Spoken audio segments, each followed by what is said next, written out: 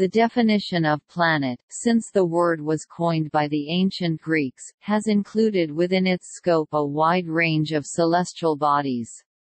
Greek astronomers employed the term asteris planetae, asteres wandering stars, for star-like objects which apparently moved over the sky.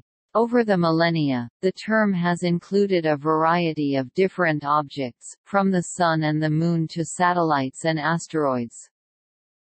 By the end of the 19th century the word planet, though it had yet to be defined, had become a working term applied only to a small set of objects in the Solar System. After 1992, however, astronomers began to discover many additional objects beyond the orbit of Neptune, as well as hundreds of objects orbiting other stars. These discoveries not only increased the number of potential planets, but also expanded their variety and peculiarity. Some were nearly large enough to be stars, while others were smaller than Earth's moon. These discoveries challenged long-perceived notions of what a planet could be. The issue of a clear definition for planet came to a head in January 2005 with the discovery of the trans-Neptunian object Eris, a body more massive than the smallest then accepted planet, Pluto.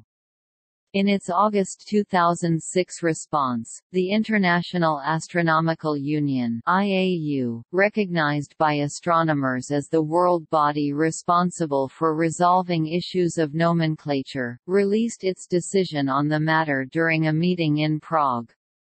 This definition, which applies only to the Solar System, states that a planet is a body that orbits the Sun, is massive enough for its own gravity to make it round, and has «cleared its neighborhood» of smaller objects around its orbit. Under this new definition, Pluto and the other trans-Neptunian objects do not qualify as planets. The IAU's decision has not resolved all controversies, and while many scientists have accepted the definition, some in the astronomical community have rejected it outright. In particular, some favor a strictly geophysical definition of a planet.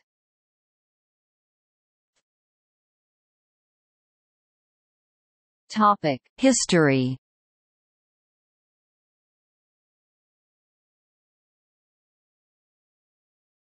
Topic: Planets in antiquity. While knowledge of the planets predates history and is common to most civilizations, the word planet dates back to ancient Greece. Most Greeks believed the Earth to be stationary and at the center of the universe in accordance with the geocentric model and that the objects in the sky, and indeed the sky itself, revolved around it an exception was Aristarchus of Samos, who put forward an early version of heliocentrism. Greek astronomers employed the term asteris planetae, asteres planet wandering stars to describe those star-like lights in the heavens that moved over the course of the year, in contrast to the asteris aplanes, asteres aplanes the fixed stars, which stayed motionless relative to one another. The five bodies currently called planets that were known to the Greeks were those visible to the naked eye, Mercury, Venus, Mars, Jupiter, and Saturn.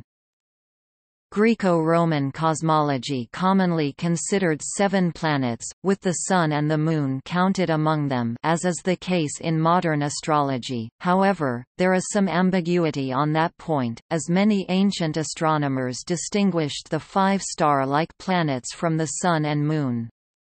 As the 19th-century German naturalist Alexander von Humboldt noted in his work Cosmos, of the seven cosmical bodies which, by their continually varying relative positions and distances apart, have ever since the remotest antiquity been distinguished from the unwandering orbs of the heaven of the fixed stars, which to all sensible appearance preserve their relative positions and distances unchanged, five only Mercury, Venus, Mars, Jupiter and Saturn, where the appearance of stars cinque stellas errantes while the Sun and Moon, from the size of their disks, their importance to man, and the place assigned to them in mythological systems, were classed apart. In his Timaeus, written in roughly 360 BC, Plato mentions, "...the Sun and Moon and five other stars, which are called the planets." His student Aristotle makes a similar distinction in his On the Heavens. The movements of the Sun and Moon are fewer than those of some of the planets.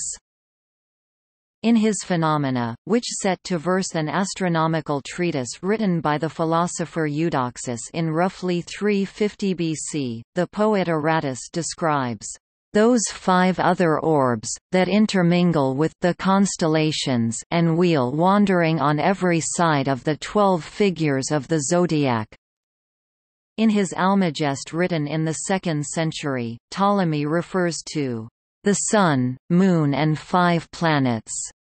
Hyginus explicitly mentions the five stars which many have called wandering, and which the Greeks call planeta. Marcus Manilius, a Latin writer who lived during the time of Caesar Augustus and whose poem Astronomica is considered one of the principal texts for modern astrology, says, now the dodecatemory is divided into five parts, for so many are the stars called wanderers which with passing brightness shine in heaven. The single view of the seven planets is found in Cicero's Dream of Scipio, written sometime around 53 BC, where the spirit of Scipio Africanus proclaims, Seven of these spheres contain the planets, one planet in each sphere, which all move contrary to the movement of heaven. In his Natural History, written in 77 AD, Pliny the Elder refers to the seven stars, which owing to their motion we call planets, though no stars wander less than they do. Nonnus, the 5th-century Greek poet, says in his Dionysiaca, I have oracles of history on seven tablets, and the tablets bear the names of the seven planets.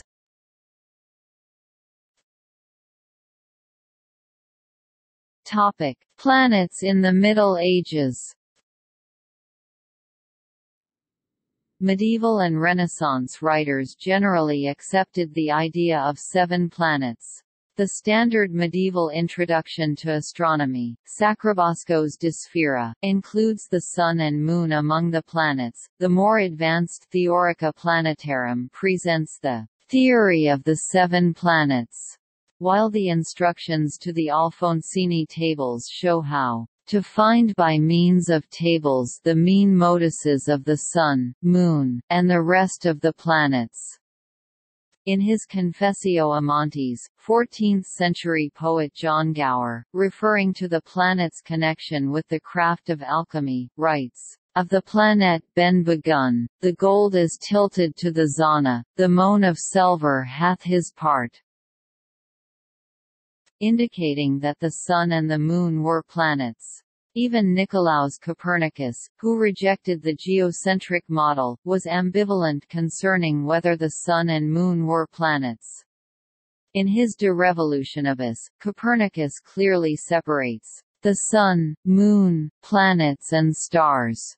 However, in his dedication of the work to Pope Paul III, Copernicus refers to, the motion of the Sun and the Moon, and of the five other planets.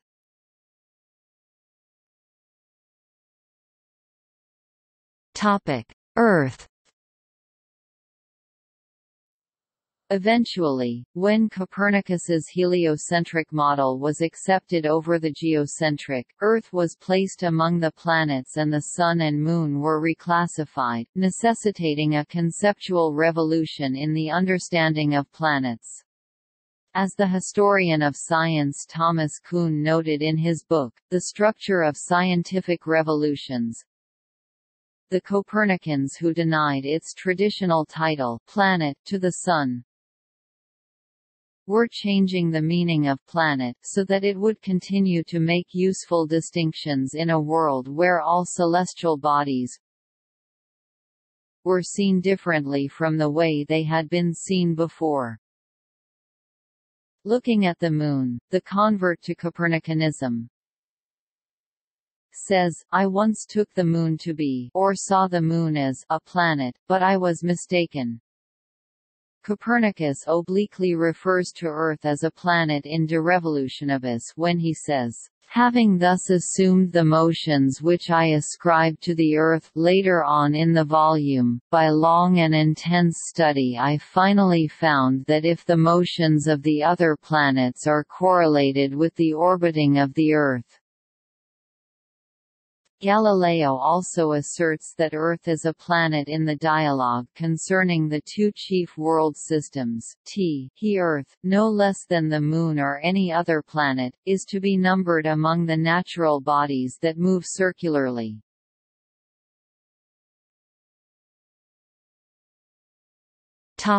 Modern planets In 1781, the astronomer William Herschel was searching the sky for elusive stellar parallaxes, when he observed what he termed a comet in the constellation of Taurus. Unlike stars, which remained mere points of light even under high magnification, this object's size increased in proportion to the power used. That this strange object might have been a planet simply did not occur to Herschel. The five planets beyond Earth had been part of humanity's conception of the universe since antiquity. As the asteroids had yet to be discovered, comets were the only moving objects one expected to find in a telescope. However, unlike a comet, this object's orbit was nearly circular and within the ecliptic plane. Before Herschel announced his discovery of his comet, his colleague, British astronomer Royal Nevil Maskelyne, wrote to him, saying, I don't know what to call it. It is as likely to be a regular planet moving in an orbit nearly circular to the Sun as a comet moving in a very eccentric ellipsis. I have not yet seen any coma or tail to it. The comet was also very far away, too far away for a mere comet to resolve itself. Eventually it was recognized as the seventh planet and named Uranus after the father of Saturn. Gravitationally induced irregularities in Uranus's observed orbit led eventually to the discovery of Neptune in 1846, and presumed irregularities in Neptune's orbit subsequently led to a search which did not find the perturbing object. It was later found to be a mathematical artifact caused by an overestimation of Neptune's mass, but did find Pluto in 1930. Initially believed to be roughly the mass of the Earth, observation gradually shrank Pluto's estimated mass until it was revealed to be a mere 500th as large, far too small to have influenced Neptune's orbit at all. In 1989, Voyager 2 determined the irregularities to be due to an overestimation of Neptune's mass.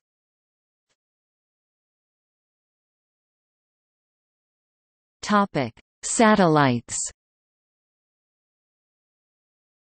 When Copernicus placed Earth among the planets, he also placed the Moon in orbit around Earth, making the Moon the first natural satellite to be identified.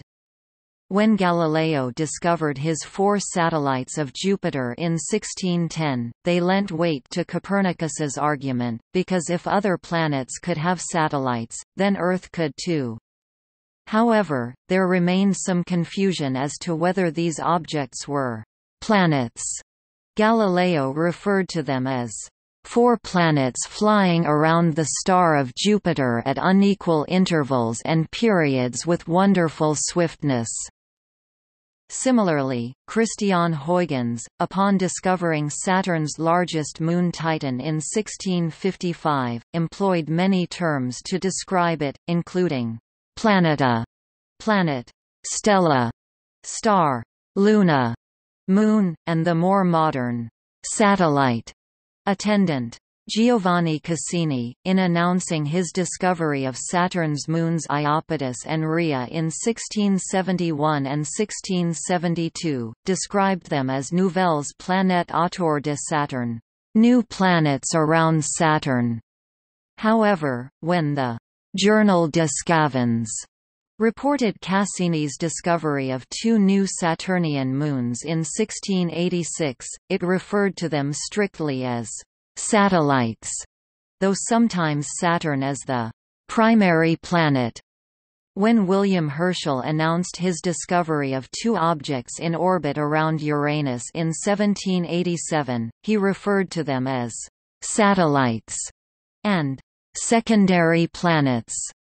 All subsequent reports of natural satellite discoveries used the term satellite exclusively, though the 1868 book, Smith's Illustrated Astronomy, referred to satellites as secondary planets.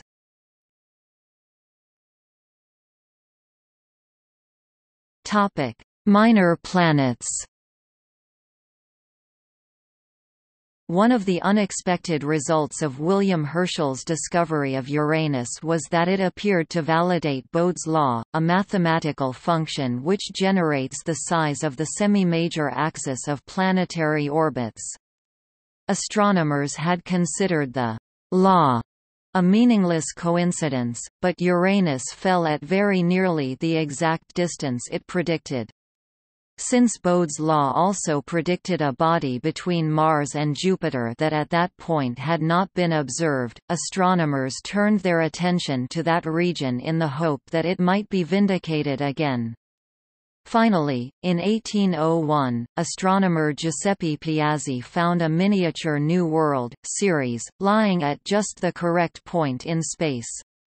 The object was hailed as a new planet. Then in 1802, Heinrich Olbers discovered Pallas, a second planet, at roughly the same distance from the Sun as Ceres.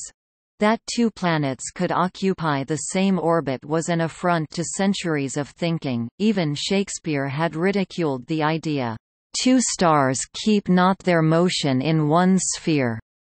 Even so, in 1804, another world, Juno, was discovered in a similar orbit. In 1807, Olbers discovered a fourth object, Vesta, at a similar orbital distance. Herschel suggested that these four worlds be given their own separate classification, asteroids meaning star-like, since they were too small for their disks to resolve and thus resembled stars, though most astronomers preferred to refer to them as planets. This conception was entrenched by the fact that, due to the difficulty of distinguishing asteroids from yet uncharted stars, those four remained the only asteroids known until 1845. Science textbooks in 1828, after Herschel's death, still numbered the asteroids among the planets. With the arrival of more refined star charts, the search for asteroids resumed, and a fifth and sixth were discovered by Karl Ludwig Hencke in 1845 and 1847. By 1851 the number of asteroids had increased to 15, and a new method of classifying them, by affixing a number before their names in order of discovery, was adopted, inadvertently placing them in their own distinct category. Ceres became 1 Ceres, Pallas became 2 Pallas, and so on. By the 1860s, the number of known asteroids had increased to over a hundred, and observatories in Europe and the United States began referring to them collectively as minor planets or small planets, though it took the first four asteroids longer to be grouped as such. To this day, minor planet remains the official designation for all small bodies in orbit around the Sun, and each new discovery is numbered accordingly in the IAU's Minor Planet Catalogue.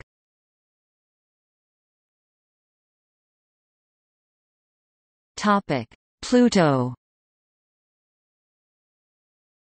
The long road from planethood to reconsideration undergone by Ceres is mirrored in the story of Pluto, which was named a planet soon after its discovery by Clyde Tombaugh in 1930. Uranus and Neptune had been declared planets based on their circular orbits, large masses and proximity to the ecliptic plane. None of these applied to Pluto, a tiny and icy world in a region of gas giants with an orbit that carried it high above the ecliptic and even inside that of Neptune. In 1978, astronomers discovered Pluto's largest moon, Charon, which allowed them to determine its mass. Pluto was found to be much tinier than anyone had expected, only one-sixth the mass of Earth's moon, however, as far as anyone could yet tell, it was unique. Then, beginning in 1992, astronomers began to detect large numbers of icy bodies beyond the orbit of Neptune that were similar to Pluto in composition, size, and orbital characteristics. They concluded that they had discovered the long hypothesized Kuiper belt sometimes called the Edgeworth-Kuiper belt, a band of icy debris that is the source for «short-period» comets. Those with orbital periods of up to 200 years, Pluto's orbit lay within this band and thus its planetary status was thrown into question. Many scientists concluded that tiny Pluto should be reclassified as a minor planet, just as Ceres had been a century earlier. Mike Brown of the California Institute of Technology suggested that a «planet» should be redefined as any body in the Solar System that is more massive than the total mass of all of the other bodies in a similar orbit, those objects under that mass limit would become minor planets. In 1999, Brian G. Marsden of Harvard University's Minor Planet Center suggested that Pluto be given the minor planet number 10,000 while still retaining its official position as a planet.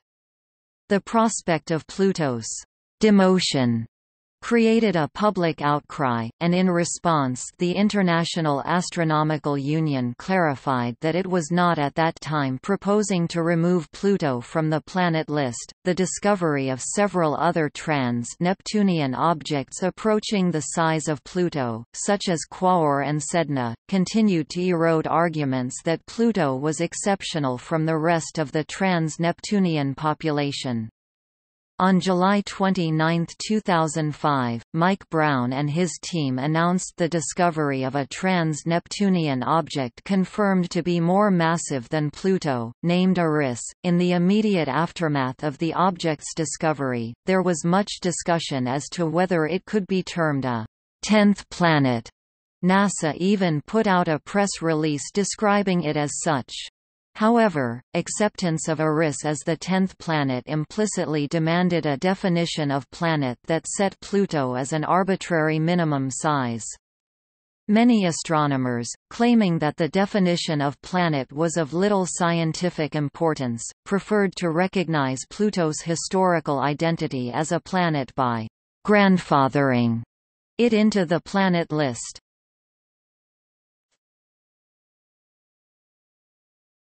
Topic: IAU definition.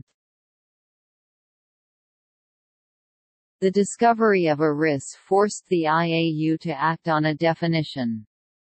In October 2005, a group of 19 IAU members, which had already been working on a definition since the discovery of Sedna in 2003, narrowed their choices to a shortlist of three, using approval voting.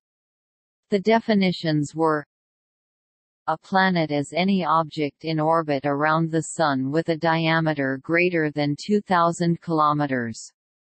11 votes in favor. A planet is any object in orbit around the Sun whose shape is stable due to its own gravity. 8 votes in favor. A planet is any object in orbit around the Sun that is dominant in its immediate neighborhood.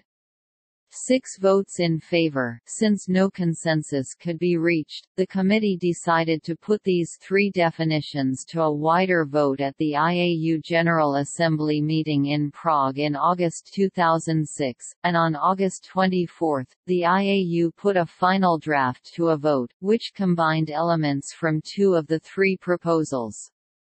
It essentially created a medial classification between planet and rock, or, in the new parlance, small solar system body, called dwarf planet and placed Pluto in it, along with Ceres and Eris. The vote was passed, with 424 astronomers taking part in the ballot. The IAU also resolved that Planets and dwarf planets are two distinct classes of objects meaning that dwarf planets, despite their name, would not be considered planets. On September 13, 2006, the IAU placed Eris, its moon Dysnomia, and Pluto into their minor planet catalog, giving them the official minor planet designations. 134,340 Pluto, 136,199 Eris, and 136,199 Eris I Dysnomia. Other possible dwarf planets, such as 2003 EL61, 2005 FY9, Sedna and Quaoar, were left in temporary limbo until a formal decision could be reached regarding their status. On June 11, 2008, the IAU Executive Committee announced the establishment of a subclass of dwarf planets comprising the aforementioned new category of trans-Neptunian objects, to which Pluto is a prototype. This new class of objects, termed Plutoids, would include Pluto, Eris and any other future trans-Neptunian dwarf planets, but excluded Ceres. The IAU also determined that, for naming purposes, only those TNOs with an absolute magnitude brighter than H equals plus 1 would be allowed into the category. To date, only two other TNOs, 2003 EL61 and 2005 FY9, meet the absolute magnitude requirement, while other potential dwarf planets, such as Sedna, Orcus and Quaoar, do not. On July 11, 2008, the Working Group on Planetary Nomenclature included 2005 FY9 in the Plutoid class, naming it Makemake. On September 17, 2008, 2003 EL61 joined the category with the name Haumea.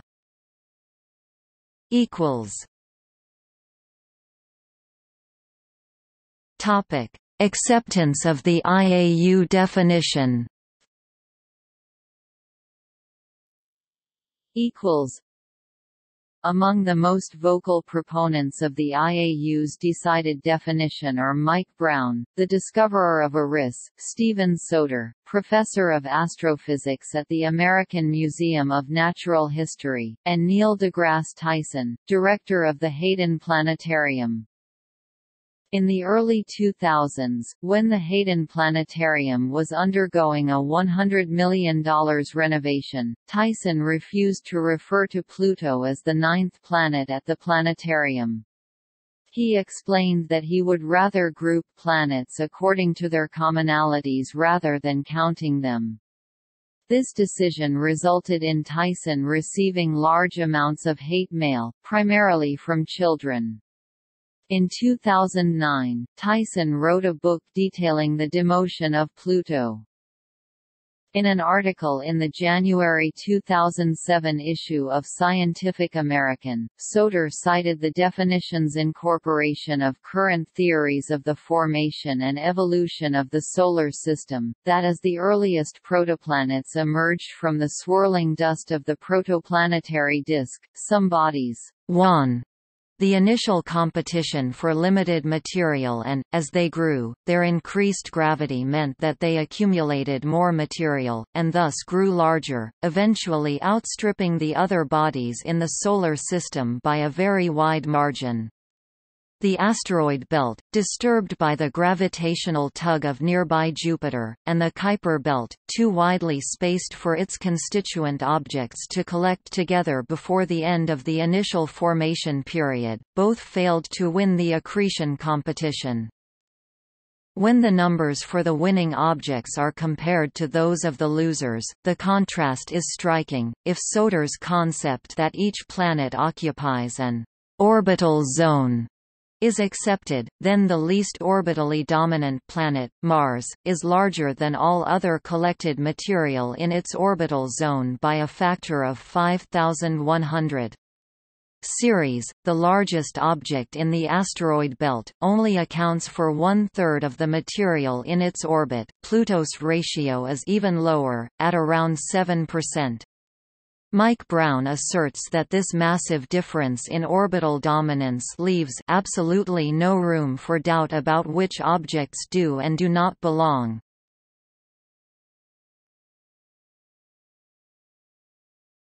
Topic: Ongoing controversies. Despite the IAU's declaration, a number of critics remain unconvinced. The definition is seen by some as arbitrary and confusing. A number of Pluto as planet proponents, in particular Alan Stern, head of NASA's New Horizons mission to Pluto, have circulated a petition among astronomers to alter the definition. Stern's claim is that, since less than 5% of astronomers voted for it, the decision was not representative of the entire astronomical community. Even with this controversy excluded, however, there remain several ambiguities in the definition.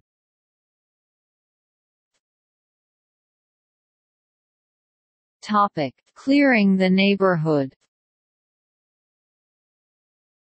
One of the main points at issue is the precise meaning of cleared the neighborhood around its orbit. Alan Stern objects that it is impossible and contrived to put a dividing line between dwarf planets and planets and that since neither Earth, Mars, Jupiter, nor Neptune have entirely cleared their regions of debris, none could properly be considered planets under the IAU definition. Mike Brown counters these claims by saying that, far from not having cleared their orbits, the major planets completely control the orbits of the other bodies within their orbital zone.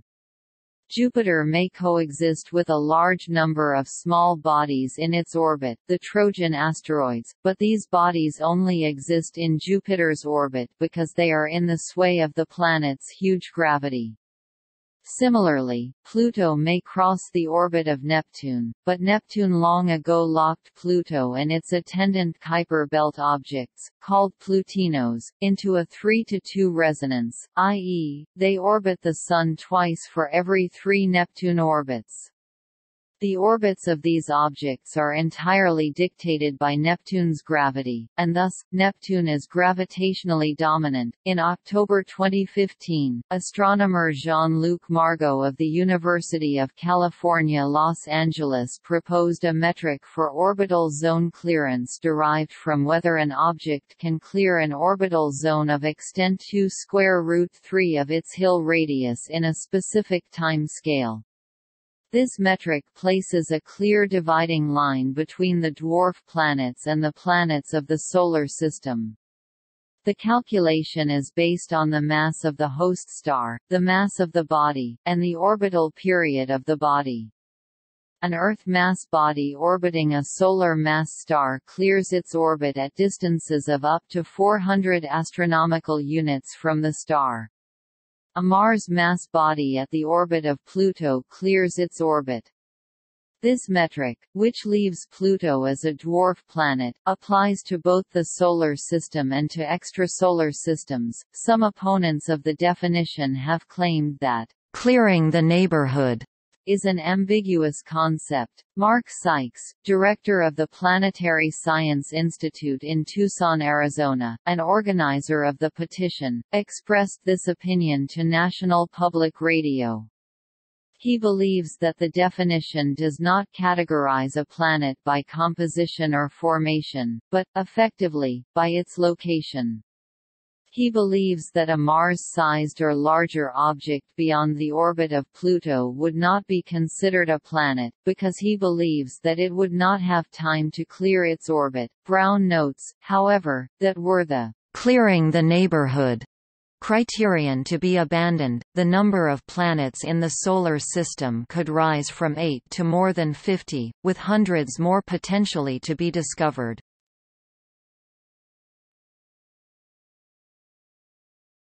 Topic: Hydrostatic equilibrium. The IAU's definition mandates that planets be large enough for their own gravity to form them into a state of hydrostatic equilibrium, this means that they will reach a round, ellipsoidal shape. Up to a certain mass, an object can be irregular in shape, but beyond that point gravity begins to pull an object towards its own center of mass until the object collapses into an ellipsoid. None of the large objects of the Solar System are truly spherical. Many are spheroids, and several, such as the larger moons of Jupiter and Saturn and the dwarf planet Haumea, have been further distorted into ellipsoids by rapid rotation or tidal forces, but still in hydrostatic equilibrium. However, there is no precise point at which an object can be said to have reached hydrostatic equilibrium. As Soter noted in his article, how are we to quantify the degree of roundness that distinguishes a planet? Does gravity dominate such a body if its shape deviates from a spheroid by 10% or by 1%? Nature provides no unoccupied gap between round and non-round shapes, so any boundary would be an arbitrary choice. Furthermore, the point at which an object's mass compresses it into an ellipsoid varies depending on the chemical makeup of the object. Objects made of ices, such as Enceladus and Miranda, assume that state more easily than those made of rock, such as Vesta and Pallas. Heat energy, from gravitational collapse, impacts, tidal forces, or radioactive decay, also factors into whether an object will be ellipsoidal or not. Saturn's icy moon Mimas is ellipsoidal, but Neptune's larger moon Proteus, which is similarly composed but colder because of its greater distance from the Sun, is irregular. In addition, the much larger Iapetus is ellipsoidal but does not have the dimensions expected for its current speed of rotation, indicating that it was once in hydrostatic equilibrium but no longer is.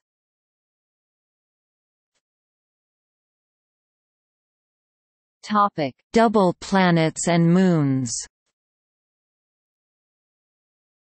The definition specifically excludes satellites from the category of dwarf planet, though it does not directly define the term satellite. In the original draft proposal, an exception was made for Pluto and its largest satellite, Charon, which possess a barycenter outside the volume of either body. The initial proposal classified Pluto-Charon as a double planet, with the two objects orbiting the Sun in tandem. However, the final draft made clear that, even though they are similar in relative size, only Pluto would currently be classified as a dwarf planet. However, some have suggested that the Moon nonetheless deserves to be called a planet. In 1975, Isaac Asimov noted that the timing of the Moon's orbit is in tandem with the Earth's own orbit around the Sun. Looking down on the ecliptic, the Moon never actually loops back on itself, and in essence it orbits the Sun in its own right. Also many moons, even those that do not orbit the Sun directly, often exhibit features in common with true planets. There are 19 moons in the Solar System that have achieved hydrostatic equilibrium and would be considered planets if only the physical parameters are considered. Both Jupiter's moon Ganymede and Saturn's moon Titan are larger than Mercury, and Titan even has a substantial atmosphere, thicker than the Earth's.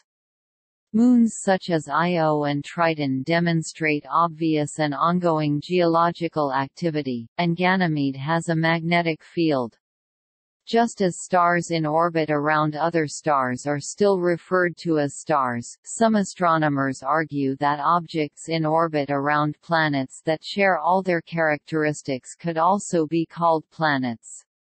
Indeed, Mike Brown makes just such a claim in his dissection of the issue, saying, it is hard to make a consistent argument that a 400 km iceball should count as a planet because it might have interesting geology, while a 5,000 km satellite with a massive atmosphere, methane lakes, and dramatic storms Titan shouldn't be put into the same category, whatever you call it.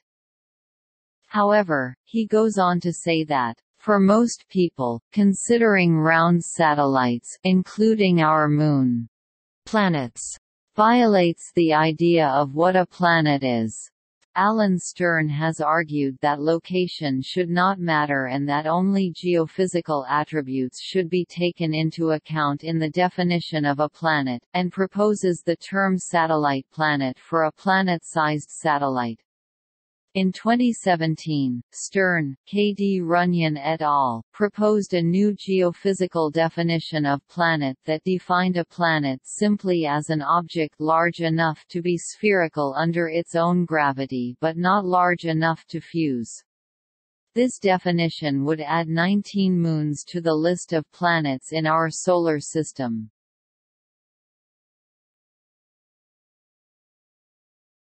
Topic extrasolar planets and brown dwarfs The discovery since 1992 of extrasolar planets, or planet-sized objects around other stars, 4,071 such planets in 3,043 planetary systems including 659 multiple planetary systems as of 1 June 2019, has widened the debate on the nature of planethood in unexpected ways. Many of these planets are of considerable size, approaching the mass of small stars, while many newly discovered brown dwarfs are, conversely, small enough to be considered planets.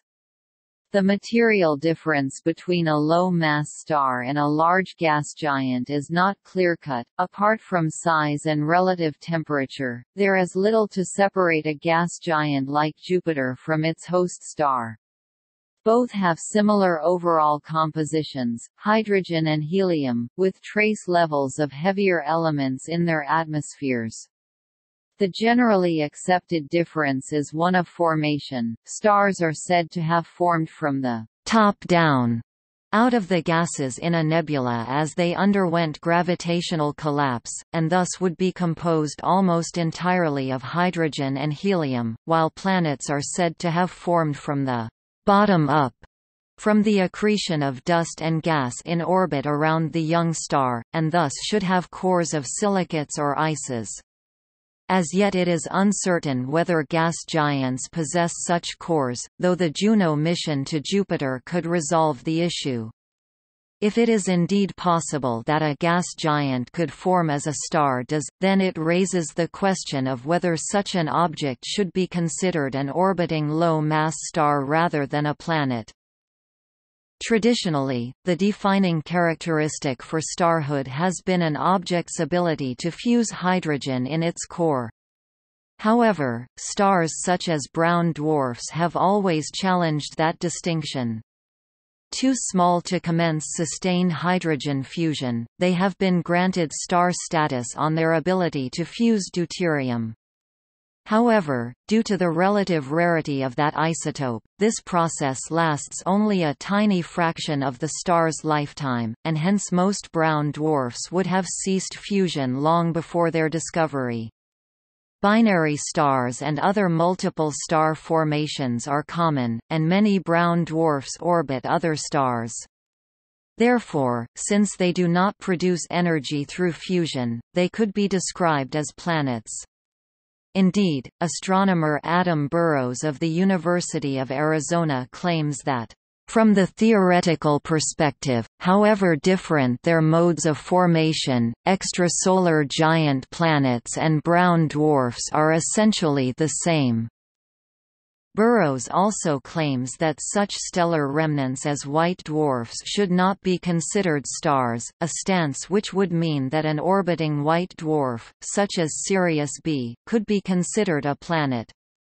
However, the current convention among astronomers is that any object massive enough to have possessed the capability to sustain atomic fusion during its lifetime should be considered a star. The confusion does not end with brown dwarfs. Maria Rosa Zapatero Osorio et al. have discovered many objects in young star clusters of masses below that required to sustain fusion of any sort currently calculated to be roughly 13 Jupiter masses. These have been described as free-floating planets because current theories of solar system formation suggest that planets may be ejected from their star systems altogether if their orbits become unstable. However, it is also possible that these free-floating planets could have formed in the same manner as stars. In 2003, a working group of the IAU released a position statement to define what constitutes an extrasolar planet and what constitutes a brown dwarf. To date, it remains the only guidance offered by the IAU on this issue. The 2006 Planet Definition Committee did not attempt to challenge it, or to incorporate it into their definition, claiming that the issue of defining a planet was already difficult to resolve without also considering extrasolar planets. This definition makes location, rather than formation or composition, the determining characteristic for planethood. A free-floating object with a mass below 13 Jupiter masses is a sub-brown dwarf, whereas such an object in orbit around a fusing star is a planet, even if, in all other respects, the two objects may be identical.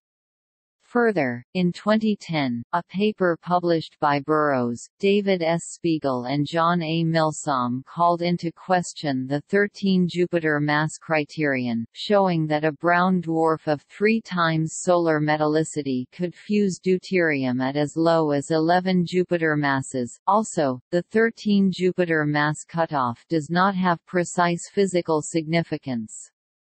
Deuterium fusion can occur in some objects with mass below that cutoff. The amount of deuterium fused depends to some extent on the composition of the object.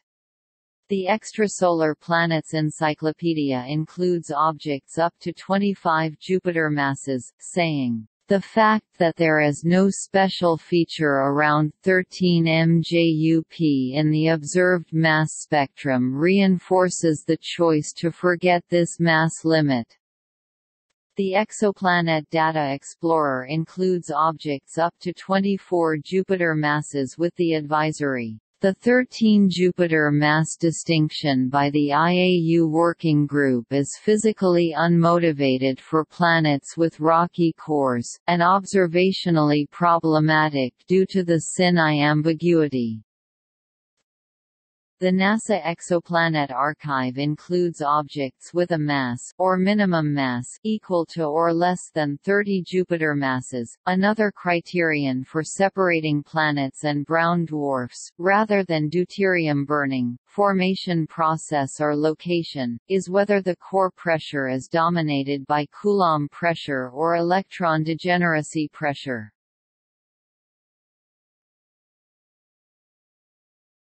Topic: Planetary mass stellar objects. The ambiguity inherent in the IAU's definition was highlighted in December 2005, when the Spitzer Space Telescope observed Cha 110913-773444 above, only eight times Jupiter's mass with what appears to be the beginnings of its own planetary system. Were this object found in orbit around another star, it would have been termed a planet. In September 2006, the Hubble Space Telescope imaged CHXR 73b left, an object orbiting a young companion star at a distance of roughly 200 astronomical units. At 12 Jovian masses, CHXR73b is just under the threshold for deuterium fusion, and thus technically a planet. However, its vast distance from its parent star suggests it could not have formed inside the small star's protoplanetary disk, and therefore must have formed, as stars do, from gravitational collapse. In 2012, Philippe Delorme, of the Institute of Planetology and Astrophysics of Grenoble in France announced the discovery of CFBDSIR 2149-0403, an independently moving 4–7 Jupiter mass object that likely forms part of the AB Doradus moving group, less than 100 light-years from Earth.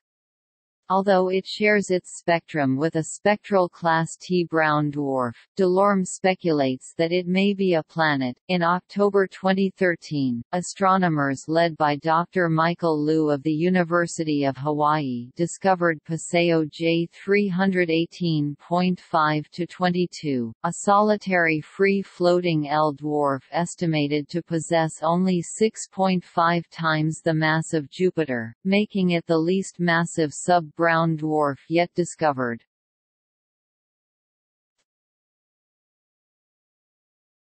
Topic: Semantics.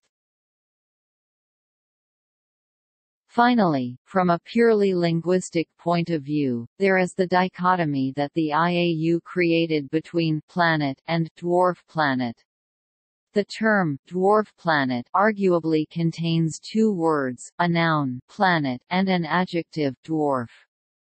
Thus, the term could suggest that a dwarf planet is a type of planet, even though the IAU explicitly defines a dwarf planet as not so being.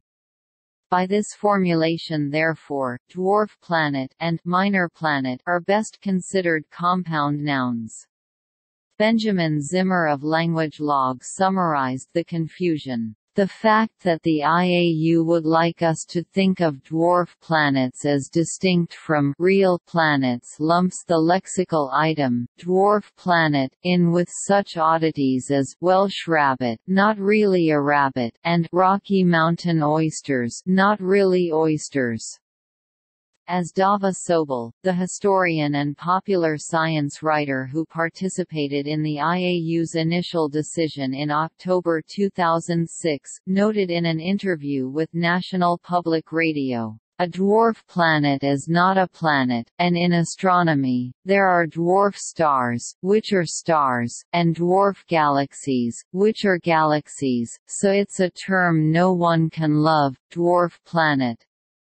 Mike Brown noted in an interview with the Smithsonian that, "...most of the people in the dynamical camp really did not want the word dwarf planet. But that was forced through by the pro-Pluto camp. So you're left with this ridiculous baggage of dwarf planets not being planets." Conversely, astronomer Robert Cumming of the Stockholm Observatory notes that, the name minor planet has been more or less synonymous with asteroid for a very long time. So it seems to me pretty insane to complain about any ambiguity or risk for confusion with the introduction of dwarf planet.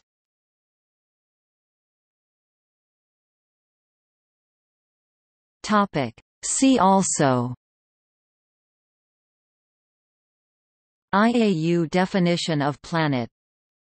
List of gravitationally rounded objects of the Solar System. List of former planets. Mesoplanet. Natural kind. Planemo. Planetar astronomy. Planetesimal. Planets in astrology. Rogue planet. Sub-brown dwarf Timeline of discovery of Solar System planets and their moons. Notes